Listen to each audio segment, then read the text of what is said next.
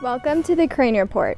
Congratulations to Department Chief Scientist James Stewart for being named a modern day technology leader by U.S. Black Engineer magazine. Also, join NSWC Crane's Distinguished Engineer for Cybersecurity, Dr. Rob Templeman, for Cybersecurity Basics for Business. The event, hosted by Westgate Academy, is on January 20th at 11 a.m. EST.